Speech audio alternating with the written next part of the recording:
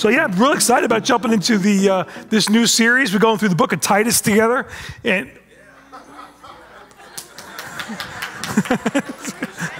Thank you. I love a guy who just goes with it, right? Yeah. I, am excited. You know, it's interesting. I, have had so much um, feedback from, from everybody so excited about the fact that we're going to be going through the book of Revelation together. I feel like I know the, the bar has been set really high, and uh, in my own strength, I've got no way of, of, of surmounting that thing. And so I'm just going to trust the Holy Spirit to uh, do what, what I can never do anyway on my own.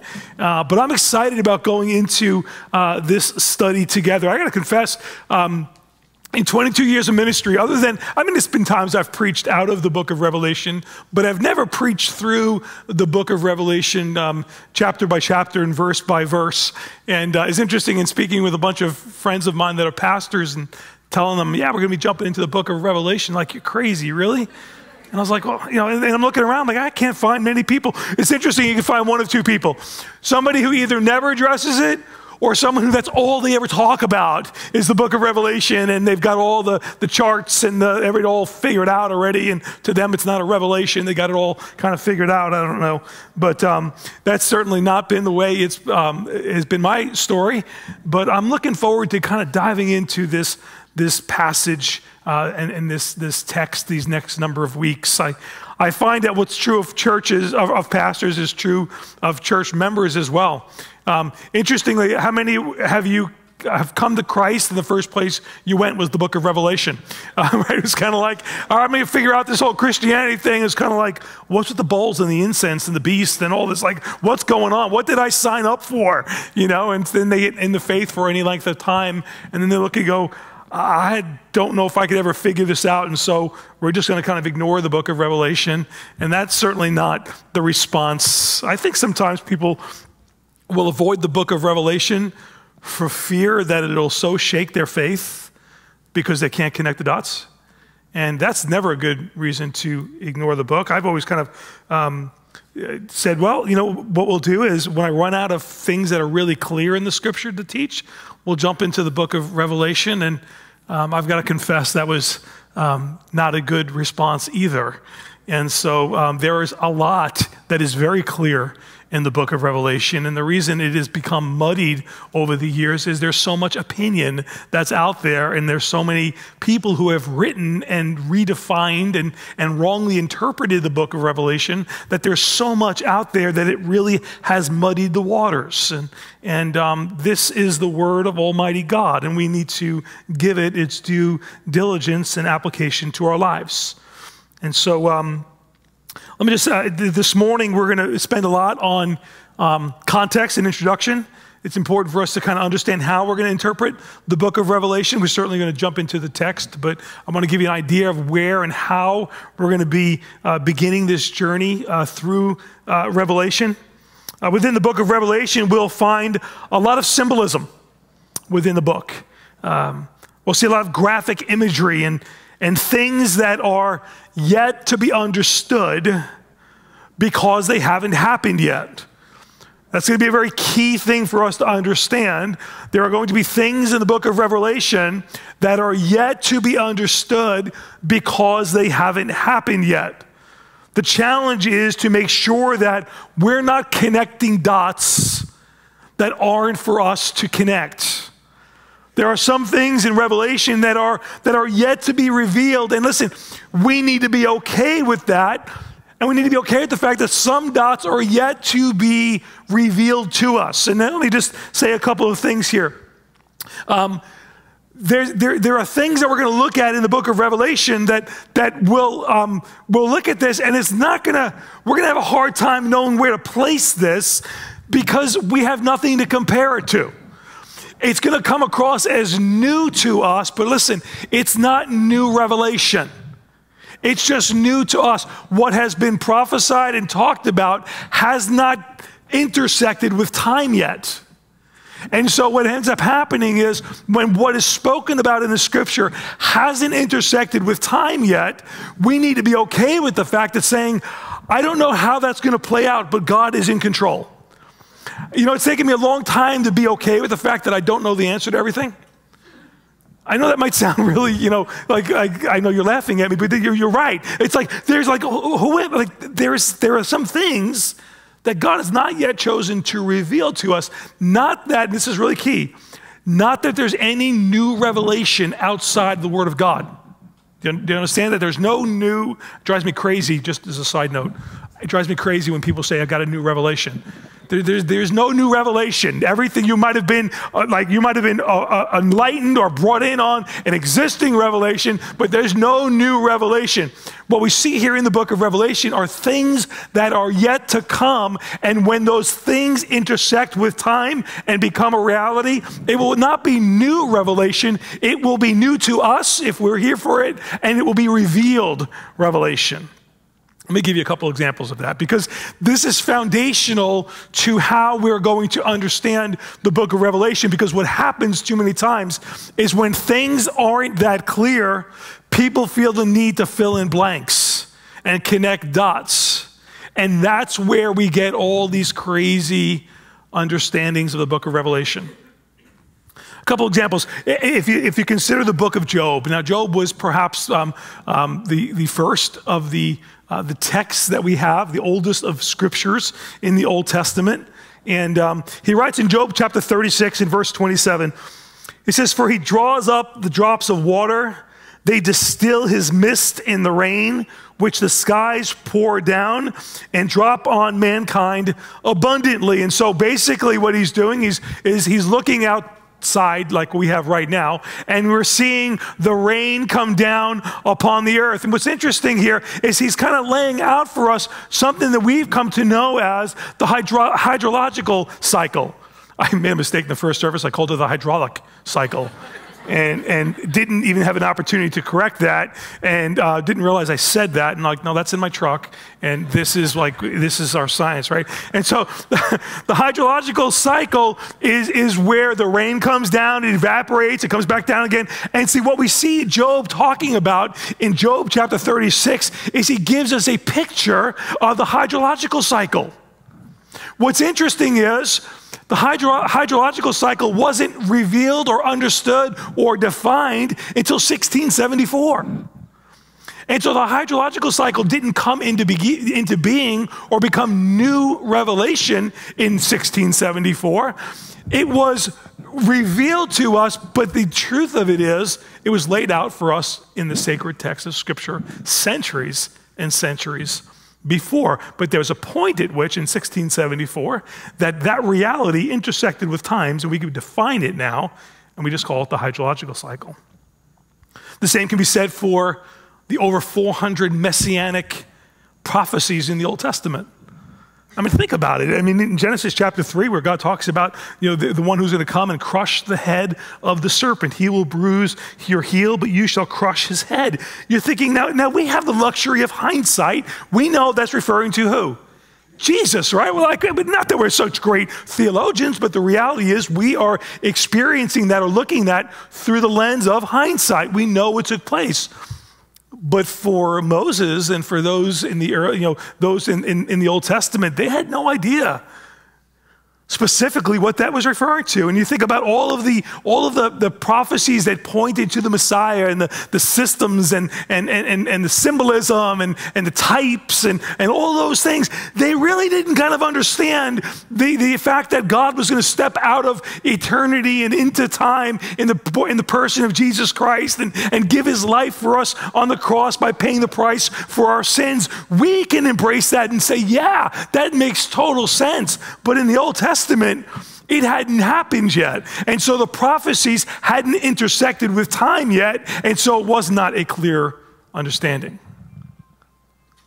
Peter gives us a, a, a beautiful picture of this same reality. First Peter chapter 1, Peter writes this. He says, concerning this salvation, the prophets who prophesied about the grace that was your that was to be yours these prophets, they searched and inquired carefully, inquiring what person or time the Spirit of Christ in them was indicating when he predicted the sufferings of Christ and the subsequent glories. It was revealed to them that they were serving not themselves, but you and the things that have now been announced to you through those who preach the good news to you by the Holy Spirit sent from heaven, things that even angels long to look. What is Peter saying here? He's saying the prophets of old, they wrote about and talked about the one who was going to come, but it says they searched and inquired carefully and wondering what is it going to look like? How is this going to play out? And then it was revealed to them this wasn't for them, this was for us who are on the other side of the of the of the covenant, right? On the other side of Christ's coming. It makes sense to us, but for them, they didn't understand because what they prophesied about hadn't intersected with time yet. And so it wasn't, it didn't become a reality. It wasn't, it, it wasn't, um, it wasn't clear to them. It didn't make sense to them. And likewise, when we, as we uh, delve into the book of Revelation, there are some things that will make sense to us, but there's some other things that are yet to come that we got to look back and in the same way that Peter said it wasn't for them, well, some of this might not be for some of us. Some of this is going to take place after our death. Some of this might take place, you know, whenever. And so, but it will take place. And there'll be a time that everything John writes about in the book of Revelation will, in fact, intersect with time and will make all the sense in the world. Yeah, but there's some really crazy things that are in there. Yeah, as crazy as God stepping out of time into eternity and taking upon himself all the sin of the world. I mean, let's, let's just, does that seem really far fetched if, if, you, if you really got honest about it? Like, because how in the world does that play out? And yet, because we have the luxury of hindsight, that is something that we hold with such affection and, and appreciation. So, as we approach the book of Revelation, um, I want to say from the outset that some of what it contains is yet to be understood by us as it awaits its intersection with time. There are differing views on how to interpret the book of Revelation. I want to take a moment and I want to, I want to share with you some of the the ways in which people have interpreted the book of Revelation. I'll highlight what the four of them are, and then I'll, I'll share with you um, what mine is and, and why. But there are basically four interpretive schools of thought when it comes to uh, the subject of Revelation and how we are to interpret it. Uh, the first school of thought is what's called the preterist um, position. And, and the preterist position, many those who are in Reformed traditions and, and would, would uh, identify themselves as amillennial would come out of or branch out of the preterist position. And their, and their position would say that everything that the book of Revelation talks about took place up uh, around AD 70, was finalized by AD 70 when the temple in Jerusalem was destroyed. And so ultimately, what for those who are uh, that are preterists, what they're saying is that that um, the book of Revelation is a history of what has taken place and not something that is to happen in the future. They're looking at it through the lens of hindsight and not recognizing that it is something that is yet to come. And so they, they, they would not suggest that there's a, a millennium that is coming to the earth. They would suggest that that is a spiritual thing that takes place, that Christ is currently, the, the millennium is actually taking place right now. Um, this position would suggest that, that God, um, because of Israel's disobedience, that God broke his covenant with Israel, and so he replaced them with the church. Replacement theology was certainly not something we hold to, but they would suggest that God does not have any, or Israel has no special place in God's future kingdom. Um, and yet, there, um, we'll, we'll dive into showing how that is certainly not the case. Um, then there's a historist, a historist position. Uh, this position looks over a timeline of church history that goes beyond AD 70, and they would suggest that all of the things that, that kind of taken, have taken place in the church, the persecution and, and, and, and the different ways in which leaders rose up to try and to destroy the church, all of those things were kind of taking place um, already in time up until 70 and, and beyond. But the history historist position suggests that it kind of has taken place already um, even beyond AD 70, unlike the preterists. The idealist position, this view interprets Revelation purely symbolically.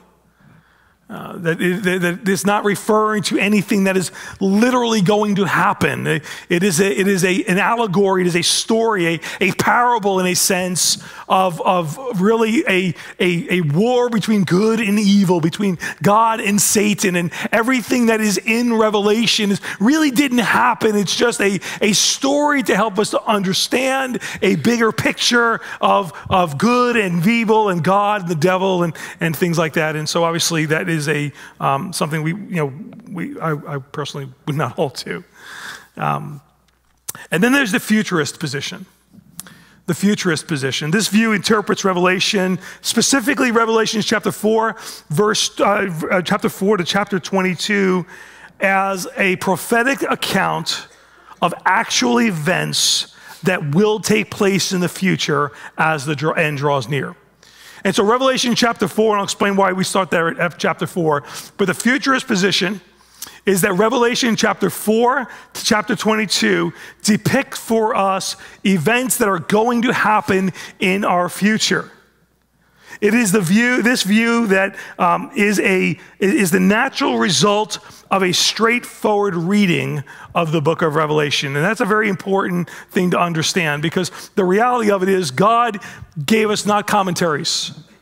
God gave us his, his, his holy word right? And so and so when we think about the when we think about god's word and we, we read through the scripture if we were just to take somebody who never heard anything about the bible before about the book of revelation and all the events and we were to place them on an island untainted from everybody's uh, visions and charts and teachings and everything else and say what did you come up with? They will in fact come up with a futurist position because that's the way the text is laid out it doesn't depend upon man interpreting or inserting events to connect dots that God chose to not connect yet. Interestingly, let me just say, sadly, a lot of theology that happens, um, where, where, where I think the longer people are in the faith, that's painting with a broad brush, but, but oftentimes what people will do is they'll, they'll look to the commentaries and the commentators instead of allowing the Word of God to speak in the context in which it was. You know, you look at the, the, the preterist ones, the ones that, that kind of look at, and, at Israel and say, well, God clearly just disconnected with Israel because of their disobedience. Well, this position they held centuries ago because Israel wasn't a nation at that point. They couldn't imagine that Israel would possibly come back together again and that God would fulfill his, proper, his plan and purpose for Israel in, in, in, that, in that time. And so there's so many factors that, that come into somebody's um, uh, theological uh, conclusions that we need to be, make sure that we allow the Word of God to be the thing that informs us the most and we don't connect dots that can't be connected. The scripture is intended to be interpreted in, this, in the context that it's given. And we don't have the luxury of changing the way we interpret each book of the Bible. We can't say, well, we interpret John this way, Titus this way, Malachi this way. Oh, in Revelation we do it this way, and then the other one we do it that way. No, we, we don't, because then, then there's no standard, right? Then you can make everything say what you want it to do. There needs to be a consistent way in which we interpret Scripture. I think the reason that there are so many opinions on the book of Revelation is because there's so many people who, who read into and add to and take out of the text, text in an attempt to try and have it make sense to them. But the reality of it is, it's, it's not that Revelation doesn't make sense, it's just that it will present things that we've never experienced before. But when we try to make common things that are uncommon to us, we then take out of the original intent of what God uh, wanted us to get from the text. We need to be okay with saying, you know, it might be this, but we'll see and we allow the Word of God, we allow what God has written to intersect with time so that it can be revealed or not. One of the interesting, just as an example of that, the, the preterist position that suggests that everything in Revelation took place at the destruction of the temple in AD 70. Uh, the, the, the problem with that position is the book of Revelation was written around AD 90, 95. And so, why would John write about this revelation of events that took place already in AD 70? Well, here's how they get past that hoop. They just say, well, the book of Revelation wasn't written in AD 90, it was written in AD 70. Now, there's no internal or external evidence at all that would suggest that as being a proper dating of that book, but that fits into the, what they're trying to communicate. And that's where the dangers come in. And so we need to be careful that we don't engage in interpretive acrobatics to try and get the scriptures say what we want it to say. Our approach over the next number of weeks will be to allow the text to be read in the order and the context in which it has been given to us. This is consistent with the way in which we are to interpret all the sacred texts that God has preserved for us to read. And so, as we look at the book of Revelation, just a couple of qualifiers as we go forward. The book of Revelation is written by the Apostle John. He is, he is the only of the apostles that walked with Jesus that is still alive up until this point. All of the others, save Judas, were, were taken out due to martyrdom. But John was not immune to persecution and suffering. He understood hardship, and he is actually in exile by Rome. He's been set aside on an island called Patmos and he is there um, exiled from his, his countrymen and from his family because of his faith. Now, Patmos was a small and, and rocky, barren area that, that Rome would send their criminals to, and they would work in the, in the fields and the mines and, and, and, have, and having to work there. That's where, that's where John was because he was a part of an illegal cult called Christianity. At least that's the way Rome viewed it. And so they would either kill people for their faith or they would, bank, they, they would uh, banish them off to places like Patmos. But John is in, um, on the island in Patmos in exile when he writes this book. It's interesting. It just, just as a, as a side note that has nothing to do with um, Revelation. So John is, John is um, under house arrest, for lack of a better word. He's, he's in exile in Patmos and he, and he pens the book of Revelation. Many of the beautiful epistles that we draw from in the scripture were written by Paul when Paul also was in prisons.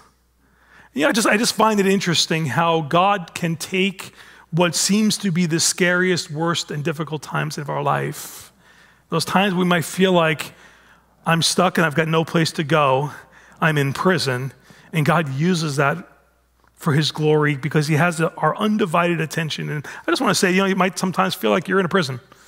And you know what? That might be your finest hour. And, and, and as we look at Paul's ministry and John's, and, and John's ministry, um, they ministered greatly to the people of their day, but they continue to preach to us today from their prison, prison cells. It's just very, very interesting thought. But they, the, when we consider the book of, of, of Revelation, um, we see John, who, who's writing this, it's broken up really into, into three sections, and that becomes clear as we, as we kind of move into the book of Revelation. But um, John kind of breaks up into three sections the things that John has seen, the things that are, and the things that, would, that, that will soon take place the things that have seen, which will take place in, in John chapter in, in Revelation chapter one. He will provide for us the, the context um, of what John will be saying in the course of his book. And so we see that the, in the in first chapter, it deals with the things that John has seen. He highlights the revelation that he has seen. And then as we get to chapters two and three, John will address the things that are. And he will write to these seven churches, these seven literal churches that existed in his time that Jesus had a message for. And so he will address those, those seven churches in uh, Revelation chapter two and three. And it'll be very interesting to see that the, that the struggles and the challenges and the failures of those seven churches continue to be the obstacles that many of the churches uh, have to face today and hinder the power that many churches should be experiencing. And so chapters two and three deal with the things that are. And then as we get to chapter four through chapter 22, then it comes to the, the things that are yet to be the future events of what the actual events that will take place in the future. And so we'll see that how, how that's broken up um, in the next number of weeks. Um, let me just highlight things we're going to do and things we're not going to do. Um, so for some, this will be encouraging. For some, it'll be like, oh, I was really hoping you were going to do this. And, and um, this will encourage some, discourage other, but that's my job, right? To, to comfort the disturbed and disturb the comfortable. Um, and so now here's, here's what we're going to do as we, as we kind of begin this journey going through Revelation. We're going to, here's what we're going to do. We're going to examine this text in the context that it is written. We will interpret it the same way we interpret every other text of Scripture, using the Scripture to help us to understand the text. And we will hold to the same literal method of interpretation that we employ in every other area of Scripture. The other approaches that I mentioned before of interpretation leave the meaning of Revelation to human opinion, and it demands interpretive acrobatics. The futurist approach is the only interpretive method that takes the meaning of the book of Revelation as God gave it. And so that is the way in which we're going to deal with it. That's what we're going to do. What we're not going to do is we're not going to connect dots that cannot be connected in regards to trying to put um, the upcoming events that Revelation speaks about on timelines and try to determine when Jesus is coming back right? We're not gonna, we're not gonna get involved in um, what I call newspaper exegesis, where we kind of take a look at all the events that are going on in the world and, and, and make solid declarations that this is, in fact, why we know that Jesus is coming back in this generation in this time, in this time period. Now, listen, I think the scripture gives us some really good indications of what to look for right? We'll get an idea of seeing, um, you know, especially when we consider what's going on with Israel and, and everything else. But we need to be careful to not draw conclusions and connect dots where we're not allowed to connect dots. Let me just say this every generation was convinced that they were the last generation. Every church generation was convinced that they would be there at the coming of Jesus. And so I, I, want to just have a healthy awareness that we are not to draw conclusions or connect dots on the grand timeline of what God is doing. We need to recognize, and there's certain signs that Jesus talks about in Matthew and other places that will let us know not about the rapture, but by the second coming. I want to tell you something. I'm not looking for the second coming. I'm looking for the rapture. Because, man, if I'm here for the second coming, that means I missed the rapture, and that's another whole set of problems right? And so the scripture does give us some good indications of when the second coming is taking place, but the whole forward movement of the end times starts with the rapture. And so we're going to hold in proper tension the fact that at any moment, without anything else having to happen, Jesus can rapture the church. There is nothing that has to happen at this point in God's eschatological scheme in order for us to uh, be okay with God coming for his church. Everything, uh, everything the scripture points to as a timeline event is not referring to the rapture, it's referring to the second coming. Now, when we look at some of those things and we recognize that it, it might kind of raise our, our eyebrows a little bit to help us think, wow, it seems like it's really close. Um, but I hold that in proper aware tension with the fact that a lot of other people felt that same way centuries ago.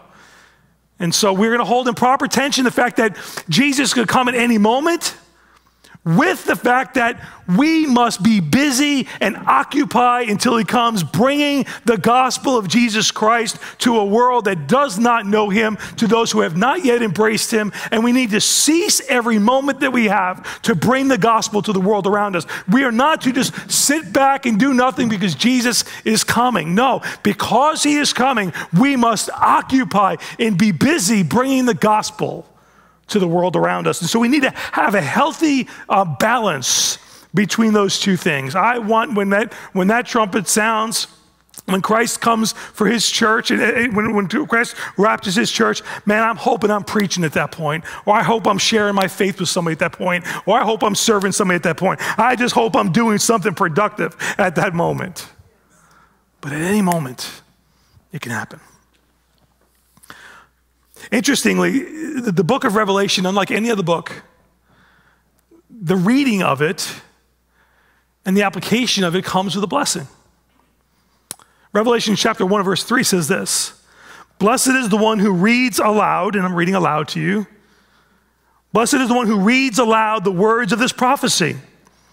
And blessed are those who hear and who keep what is written, for the time is near.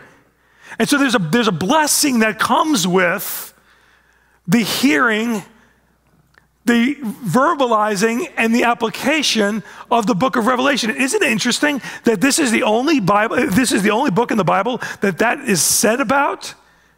And Revelation is probably the most um, unpreached um, um, subject in the churches today. Very interesting.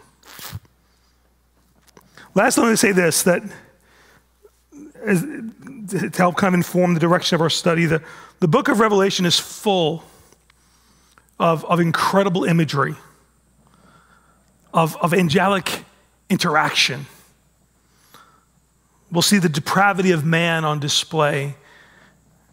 We'll see the forces of evil and we'll see the power of God.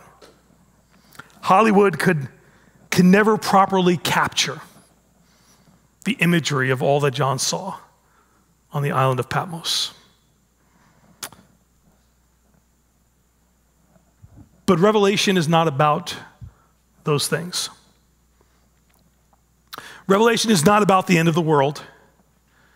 Revelation is not about the bowls or the incense or the plagues.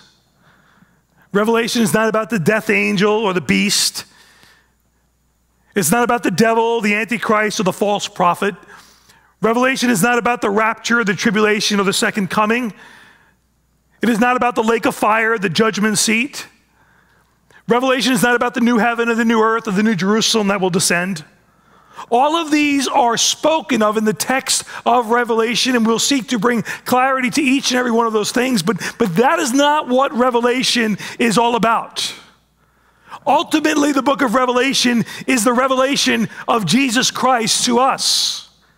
That is what Revelation is about. It is a revelation of Jesus Christ. It is a revelation of his power, a revelation of his person it is a revelation of his authority and a revelation of his victory over death and sin and Satan and all that has fallen. Jesus is the hero of the journey through Revelation. We will not get stuck in the weeds and lost in the details and miss the majesty of who he is. This is the revelation of Jesus Christ. And we will look at every aspect of this book through the lens of what does this reveal to us about my Jesus, about my powerful victor over everything that exists. Revelation has a lot of things that will stagger our mind and stretch our imagination, but they shallow in comparison to the awesomeness and majesty of who he is. And that will be the primary focus of our journey through Revelation, keeping with the intent of why it was given to us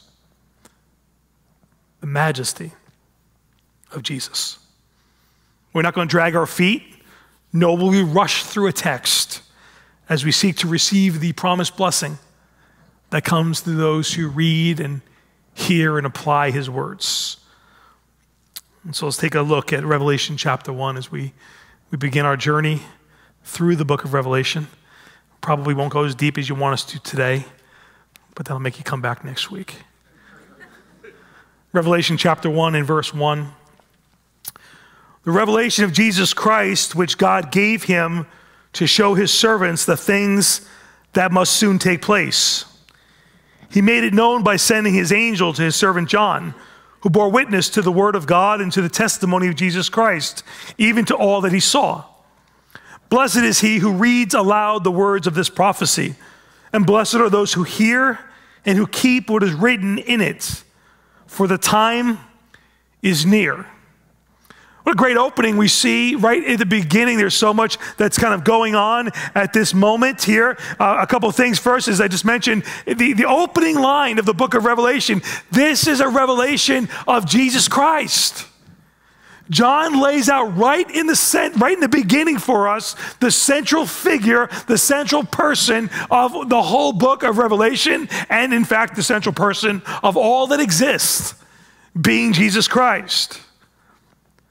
And he says here that, that, that the, this revelation comes from God right? In other words, God is the divine source of what John is about to write. He lays out for them, he puts authority behind what he's saying by saying, This is not what somebody else told me or another person. This isn't my idea or a result of you know, drinking something bad. This is something that God told me.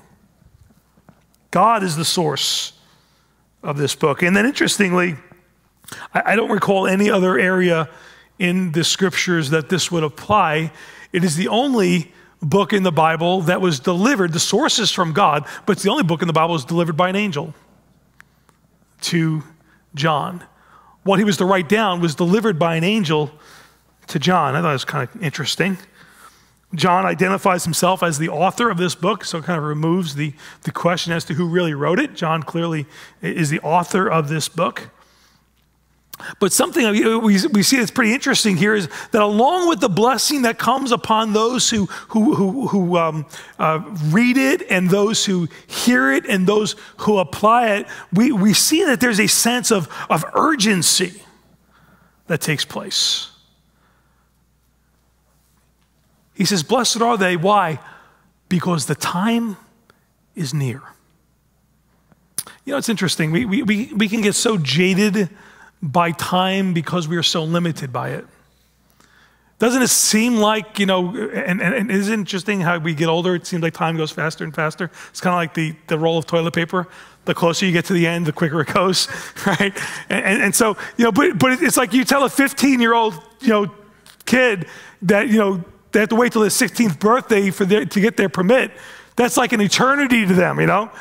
And, and for, for us, you know, as we're getting older, it's like a year goes by so, so quick. But even there, we're limited. So when we think about even the lifespan of a person as, we, as you kind of get older and start nearing that 50 year mark, you start realizing time really goes quick. And I know some of you are looking at me saying, yeah, wait till you hit 16, 70, and 80.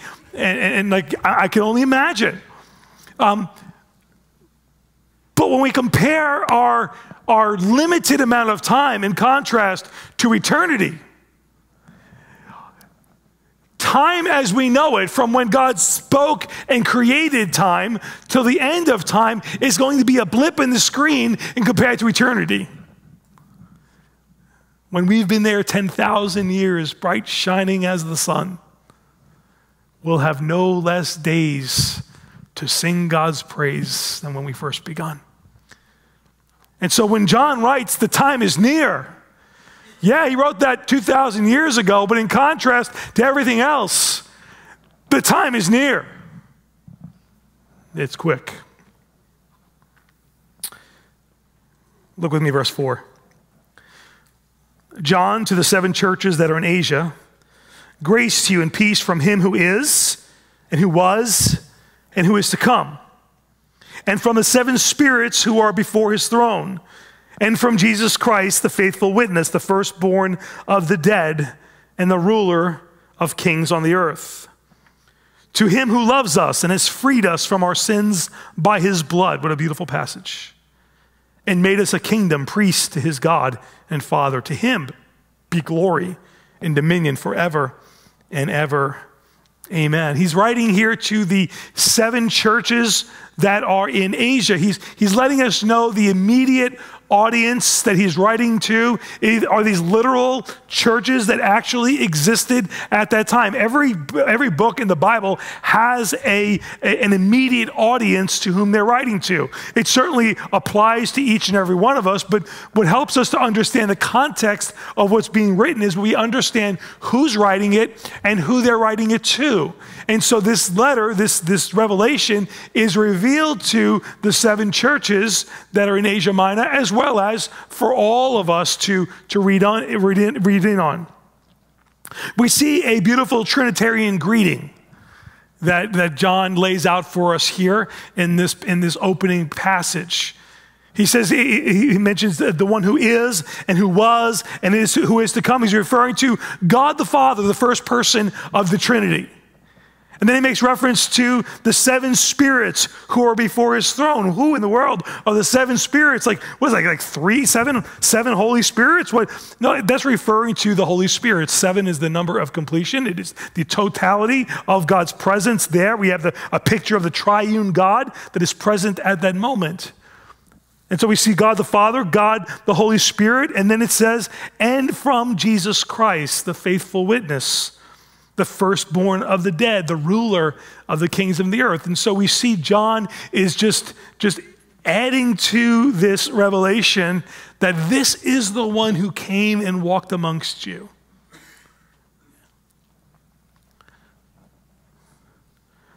And then interesting, I love, he says, to him who loves us. This is all about the fact that God loved us. And he freed us from our sins by his blood. He satisfied the just demands of a holy God by presenting not the blood of bulls and goats, as we learned recently, but by the blood of his Son. To him who loves us and has freed us from our sins by his blood. It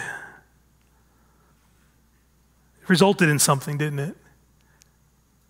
He freed us from our sins by his blood, and he made us a kingdom, priest to his God and Father. what John is saying here is that this one who came and freed us by his own blood changed the disposition that we had before God. We, as Peter will, will write about, we who were not a people are now the people of God. We who had not received mercy now have received mercy. And so John is identifying this group of people, this audience of people who are recipients of the blood of Jesus Christ, how many are in that company this morning as the redeemed of the Lord? Our disposition before God has changed. And then John begins to get the engine going. The introduction is over. And he says in verse 7 Behold, he is coming with the clouds. He lays out for us this Trinitarian greeting of God the Father, God the Son, God the Holy Spirit, and then says, Behold, he is coming with the clouds. And every eye will see him, every, even those who pierced him. And all tribes of the earth will wail on account of him. Even so, amen. I am the Alpha and the Omega, says the Lord God, who is and who was and who is to come, the Almighty. John opens up this next thought with the word behold. He'll use this word 25 times in the book of Revelation.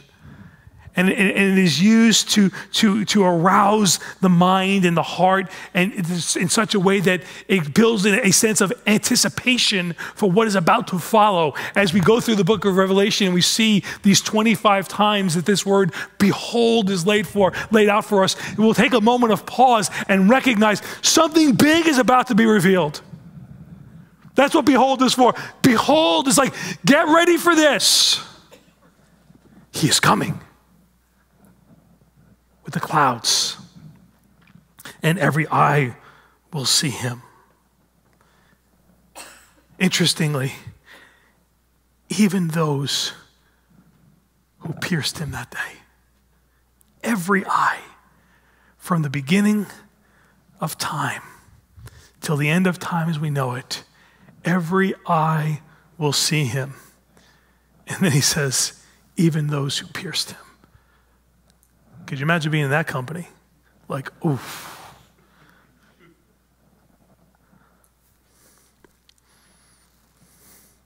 Every eye will see him from the beginning of time as we know it till the end of time as we know it. Verses 7 and 8 ultimately summarize the entirety of the book of Revelation. If we really want to kind of get a just a quick summary of what the book of Revelation is, 7 and 8 really does a really great job at doing that. Jesus is like, I'm coming, and those who pierced me and didn't believe it are in for a surprise. I am the Alpha and the Omega is the first and last letter of the Greek alphabet. In other words, before and after me, there is nothing. And ultimately, Jesus is saying, I am the final authority. I am the one. I win.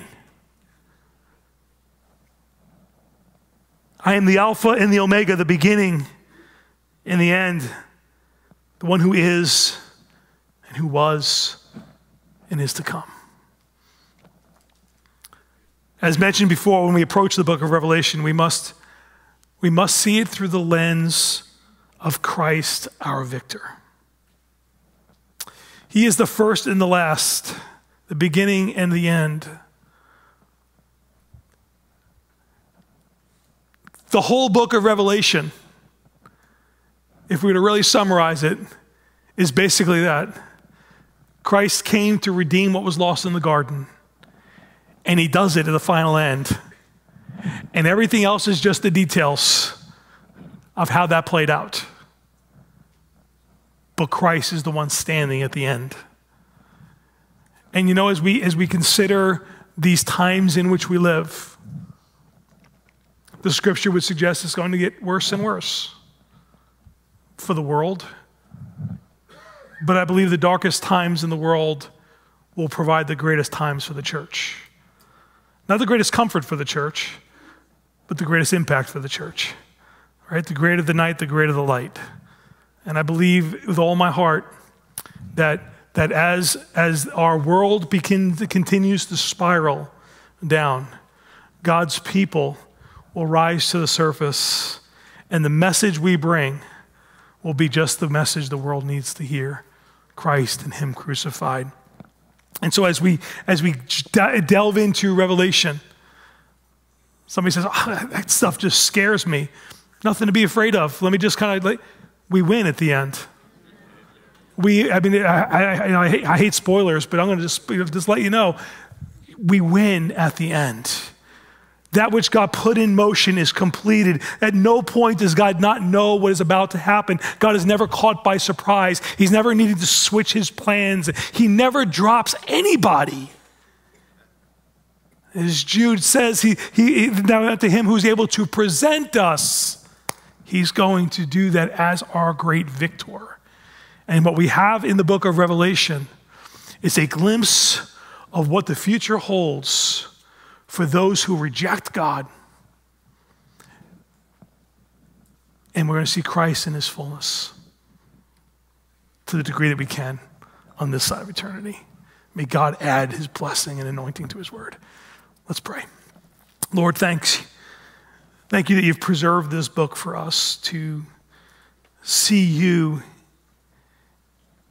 as the one who is and was and forever will be. Lord, sometimes we feel so limited, we feel so out of control, and yet we take a look at these words and we're reminded that you are sovereign over the world, you're sovereign over the universe. Nothing catches you by surprise, and we are yours and you love us. What greater comfort can a person have than knowing that the God of the universe loves us? I pray your blessing on, on your word this morning. Lord, I pray that you would help us to rightly divide the word of truth, apply it to our lives, and let that be the, the fuel that motivates us to go into all the world and make disciples, to occupy until you come. In Christ's name we pray. Amen.